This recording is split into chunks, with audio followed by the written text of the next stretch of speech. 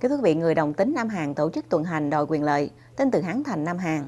Video cho thấy người ủng hộ quyền đồng tính Nam Hàn vẫy cờ cầu vồng, tuần hành qua các đường phố Hán Thành, chào mừng ngày Gay Pride Parade hàng năm.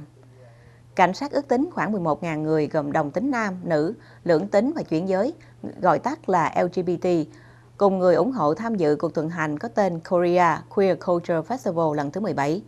Kang Myung Jin là trưởng ban tổ chức lễ hội cho biết, Queer Culture Festival là tổ chức ủng hộ cảm giác tự hào của cộng đồng LGBT, thay đổi quan niệm sai lầm thông qua giao tiếp xã hội, tạo ra một xã hội công bằng.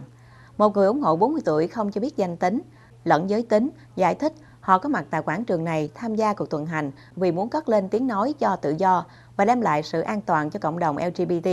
Bên cạnh không khí sôi động của người ủng hộ, còn có một không khí khác của người phản đối. Một nhóm người biểu tình chống LGBT tụ tập lại để chỉ trích, thậm chí một số người nằm lăn ra đường để ngăn chặn cuộc tuần hành. Lee Sang Won, 57 tuổi, là người chống lại phong trào đồng tính. Ông nói, xã hội của người Đại Hàn không chấp nhận LGBT vì niềm tin và lòng kính trọng đối với đạo đức và tôn giáo của họ. Tháng 5 vừa qua, một tòa án ở Hán Thành ra phán quyết bác bỏ hôn nhân đồng tính theo luật pháp hiện hành.